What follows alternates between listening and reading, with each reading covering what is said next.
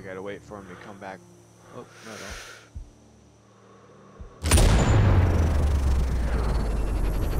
Hey. Oh my god!